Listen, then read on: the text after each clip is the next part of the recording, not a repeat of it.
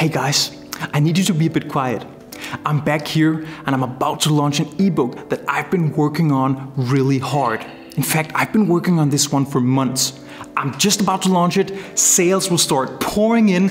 Please? I'm trying to concentrate. Sorry. So, how will I launch this? By writing a post on social media. All right, I'm ready. Let's launch it.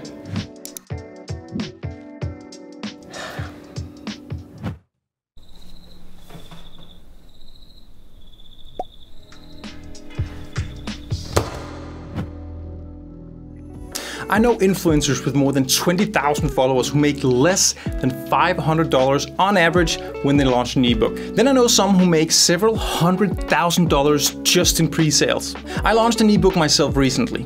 It was my first one, but I wanted to try it out. It took me a few evenings to write, and contrary to the intro before, I actually made more than $7,500 in the first week of sales. Today, I still make around $2,500 on it every month. Why do some info products perform well? Why do some perform insane when others seem to go by almost unnoticed?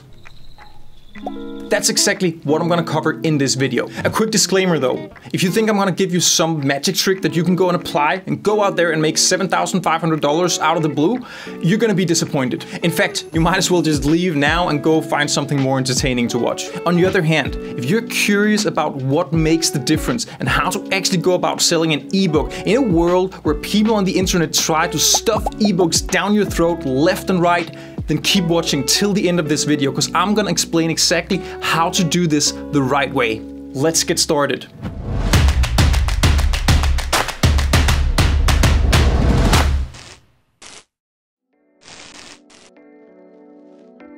If you're new to my channel, welcome here. I'm Simon and I make money on the internet. I use this YouTube channel to share my experience with creating and selling digital products. So if this is something that interests you, you should totally subscribe to my channel. So, ebooks and online courses. Can you really make money from these? Obviously, the answer is yes. And still, most people don't. Let's break this down. The model most people follow goes something like this. You start by narrowing down a topic you want to write about. You spend hours structuring, writing, proofreading, and perfecting. You make a lot of research because you're selling this. You don't want people to pay for something that's not correct, which is why you double check every other sentence. I also know a lot of ebook writers that use the process of writing an ebook as the perfect learning opportunity. A great opportunity to dig deep into a topic and learn a lot about it along the way. At some point, the work is done. You upload it on Coursera, Udemy, or Gumroad, and you share the link on social media. And you make almost no money at all. Why? How do Wes Bos, Adam Wathan, and Kent C. Dodds make millions on their ebooks and courses? Is it because they have a lot of followers? Not really. In fact, they have a lot of followers for the same reason their products do well. Yes, you guessed it, because they're good at marketing, distribution, and knows how to sell. And that's the part most ebook creators completely leave out. They spend hours writing and then they almost leave it up to random chance whether someone is gonna buy it or not. When top sellers make a lot of money from their info products, it's because they spend a lot of time preparing the launch every single time. They spent years building community, creating and owning their sales channels, building email lists, attending conferences and spreading awareness, preparing and running paid advertisement, creating affiliate programs for their products, and most importantly, they have been sharing knowledge and giving away for free for a long time before starting to ask for people's money. And I know exactly what you're thinking. I'm out. Info products is never gonna be my thing. Might as well just stop this video right now. But wait, I know where you're coming from. There's so much work needed to become that successful. But let's back up here. Maybe we don't need to make millions. As said, I made more than $7,000 in the first week from my ebook and $2,500 per month ongoing. That's also pretty good now that I'm not a full-time ebook author or course creator. And the great thing about it is, you can do it as well. It still takes a lot of work, but realistically, you can do it. So, here it goes. Let me break down how I did this, how I spent my time, how much it cost, and most importantly, which strategy I used to make sure that I actually sold copies of this ebook. So, for those of you who don't already know, I'm a software developer and startup CEO, and before creating my own tech startup, I've been working in sales and as a freelance software engineer. And the ebook I created and sold is called JavaScript in the Industry and is a collection of best practices and tips on how to write industry level JavaScript based on my experience from the real world. So, first of all, let's take a look at the finances. While you can write and launch an ebook without any expenses, you're definitely gonna get further if you allocate a budget to get you going. It doesn't have to be a lot of money. Here's the financial breakdown of the first week. Expenses. For creating the ebook, I spent $47 on this cool ebook cover and $52 to have the book proofread for grammar mistakes and typos. As some of you may have picked up already, English is not my native language. Both of these services were bought on Fiverr. For marketing, I spent $182 to have the ebook promoted on a popular Instagram account with almost a million followers, and I spent around $250 to run paid ads on Facebook and Twitter. So, in total, I spent $531 preparing and marketing the ebook. In the first week of sales, I sold the ebook on a discounted launch offer for $19 and an offer of $9 for a group of selected people. And I sold 480 copies, which resulted in $7,985 of gross revenue. Subtract the expenses and a few fees, this resulted in just around $7,450 of profit. So, let's take a look at how I spent my time. As I mentioned, I spent well about 16 hours writing the ebook. It's 71 pages long and includes a lot of illustrations. I created a website and integrated Stripe checkout for payment. I spent around 10 hours on that. Creating email launch offers and drips. This took around 4 hours. I'll go into details about this in a little bit. And then I spent 4 hours on additional marketing efforts. This includes arranging and creating a promoted post with an Instagram influencer and a couple of other ad hoc things. So, in total, I spent 40 hours creating and launching this ebook. As you may have noticed, I actually spent more time on marketing and distribution than I did creating the ebook. This leads me to the first important tip I want to give you. Don't use this as an opportunity to learn something new. It is probably the worst occasion you can pick. If you want to learn something, great, but there are much better occasions for this. Remember, you're writing an ebook to sell. You're trying to do business here.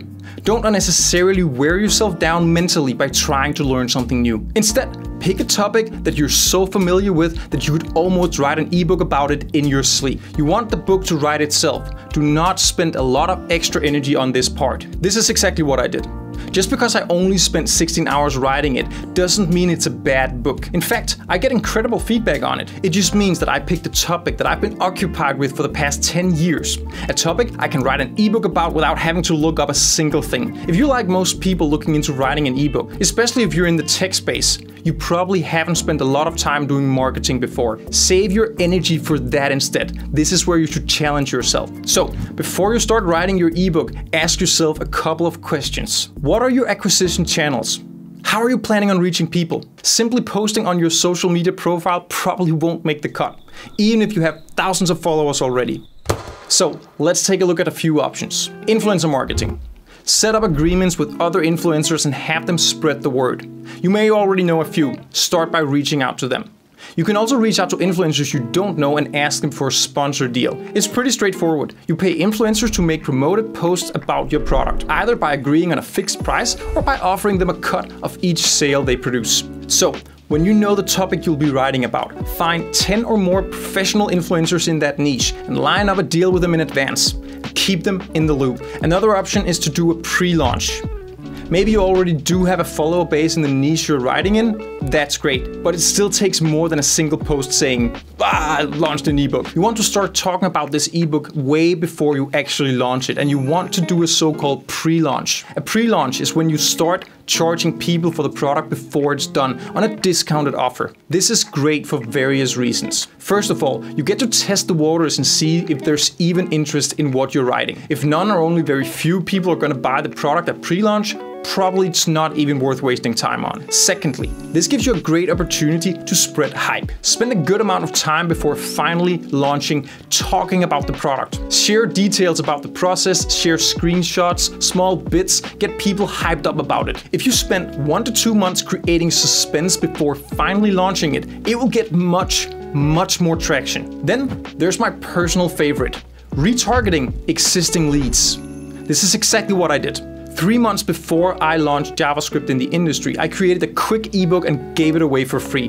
Basically, I just collected all the code snippets I had spent a year sharing on Twitter and LinkedIn and put them all together in an ebook. It took me less than two hours to make, and during the next three months, more than 10,000 people picked it up. I mean, people really like free stuff. But this is an excellent strategy for two reasons. You create authority a lot of people get to know your quality of writing without having to pay for it. You collect emails. Imagine having a list of 10,000 qualified leads laying around the day you want to launch. Email marketing is super underrated in 2021, yet it's one of the mediums that has the highest click through rate. It's an incredible way to reach a target audience. Finally, you can choose to run paid ads. Paid ads is a great strategy. It's easy to set up and it's reliable. Services like Facebook and Google have made incredible marketing platforms and they are really, really good at targeting the right people. And even though Zuckerberg is becoming increasingly unpopular as time goes by, more people than ever are using Facebook's products. With Facebook's marketing platform, you get both Facebook, Instagram, Messenger, and WhatsApp. And Google AdSense covers YouTube and God knows how many web pages. Those two platforms alone literally cover almost the entire internet. And here's a fun fact. Surveys show that people are getting decreasingly negative towards ads. In fact, a lot of people are getting used to them. They trust them more and they increasingly use them to buy products. And the best part is, it's relatively cheap. You don't need a million dollar budget to run effective advertisement campaigns. The platform needs to spend a small initial amount to tune in on an audience, but that's totally within financial capacity for most people. There are a lot of other options out there, but the most important part is that you investigate and settle on one or two acquisition channels that you believe will convert. Don't overdo this though. Creating multiple channels isn't necessarily going to increase your overall conversion rate, and it probably ends up becoming unmanageable, obfuscating data, and making the whole thing much more chaotic than it needs to be. So let me shortly sum up how I did this. I gave an ebook away for free to create trust, authority, and to collect emails. I created the monetized ebook and set up a website with Stripe integration. I made agreements with a handful of big influencers in the tech Twitter space and had them retweet my launch announcement. I paid one huge Instagram influencer to promote the ebook. I sent out a discounted offer to my email list. Finally, I set up ad campaigns on Twitter, YouTube, and Facebook. In total, this resulted in $7,500 worth of sales in the first seven days, and the book still generates around $2,500 per month today. In part two of this video, I'll go into details about how I created an email drip sequence consisting of four emails that generated more than two thirds of all the sales. And I'll show you how I set up conversion campaigns on Facebook, Twitter, and YouTube. I'll also cover how to create a great launch post that pops out and converts. Please take a second to like this video and and subscribe to my channel so you won't miss part 2. Actually, this is definitely a good time to hit that little bell icon as well so you'll get notified when it's out. I'll see you soon for part 2.